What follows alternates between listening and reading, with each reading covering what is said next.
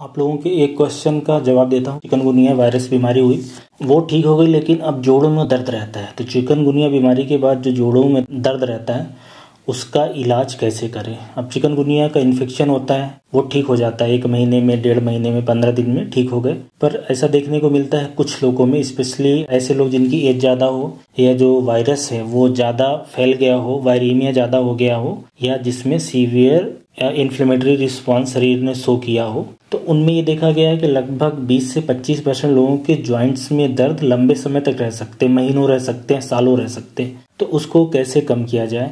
अब ये जो जोड़ों में दर्द होता है, उसके पीछे दो वजह रहती है। एक तो ये है कि जो वायरस है ये जॉइंट्स के अंदर ही सेल्स होते हैं मोनोसाइट उसके अंदर वहाँ पे इकट्ठा हो जाता है। वहाँ पे वो अंदर रिजर्वायर के रूप में रह जाता है, जिसके कारण ये इन्फ्लेमेटरी सेल्स रिस्पांस वहाँ पे आता है जॉइंट्स के अंदर और सूजन दर्द होता है। और दूसरा एक, ये जो मैकेनिज्म है कि जो वायरस के अगेंस्ट में एंटीबॉडी बनी रहती है वायरस को मारने के लिए, वो जाके जो जॉइंट्स की सरफेस रहती है उस सरफेस को अटैक करती है, उसके कारण ये जोड़ों में दर्द होता है। बहरहाल, जितने भी लोगों को होता है जोड़ों में दर्द, ज़्यादातर लोगों को ठीक हो जाता है। किसी में एक साल में ठीक हो सकता है, किसी का दो, किसी के तीन साल में। इसमें करना ये रहता है, एक तो आपको जो सबसे इम्पोर्टेंट चीज़ है कि हल्की एक्सरसाइज एक्सरसाइज का बड़ा इम्पोर्टेंट रोल है, जैसे चलना फिरना रहता है। कुछ लोग हो सकता है कि इनिशियली में चलने फिरने में तकलीफ़ हो तो हल्की एक तो आपको एक्सरसाइज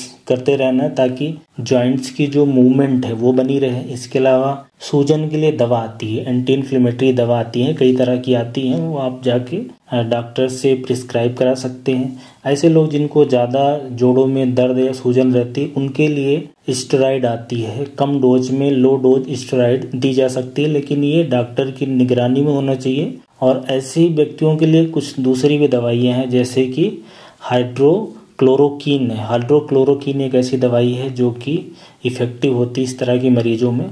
और ये सेम दवाई है जो रूमेटॉइड अर्थराइटिस के पेशेंट में भी लिखी जाती है। इसके अलावा रूमेटॉइड अर्थराइटिस के पेशेंट में जो दवाई लिखी जाती है, जिसको हम लोग बोलते हैं disease modifying anti rheumatic drugs वो भी कुछ केसेस में ट्राई करी जाती हैं। तो बहरहाल जोड़ों में अगर दर्द है तो आप डॉक्टर से मिलो। ज़रूरी नहीं कि सारे लोगों को ये सारी दवाई दिया जाए। कुछ लोगों का एक्सरसाइज करने से और कोल्ड या हार्ट जो कंप्रेस होता है, सिकाई करने से बेसिकली उससे आराम मिल सकता है। आपको अच्छा खाना खाना है मतलब बैलेंस खाना खाना है, जिसमें ज़्यादा एंटीऑक्सीडेंट हो न्यूट्रिशन हो मिनरल्स हो विटामिन हो ओमेगा थ्री फैटी एसिड हो, अपने वज़न को थोड़ा सा नियंत्रित करके रखें ताकि जॉइंट्स पे ज़्यादा भार ना पड़े, अगर घुटने की और नीचे एंकल जॉइंट प्रभावित है। और ये काफ़ी तरह की दवाइयाँ हैं, जिससे आपको धीरे धीरे ये इम्प्रूवमेंट हो जाएगा। मैक्सिमम लोगों में दो से तीन सालों में सुधार हो जाता है। और जैसा कि मैंने बताया कि जितने लोगों को चिकन गुनिया होता है, उसमें 20 से 25 परसेंट को ये समस्या आती है। जो जॉइंट्स होती है बेसिकली ज़्यादातर केसेस में एक तो ये रिस्ट जॉइंट है।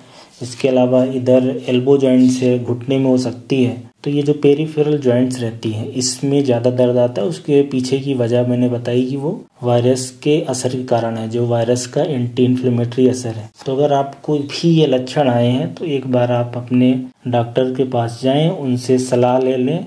दवाइयाँ काफ़ी तरह की उपलब्ध हैं, और दूसरे भी तरीके जो मैंने बताए हैं, उसको आप ट्राई करोगे तो धीरे धीरे ये जो दर्द की समस्या है अर्थराइटिस के अर्थरालजिया की समस्या है, ये धीरे धीरे ठीक हो जाएगी।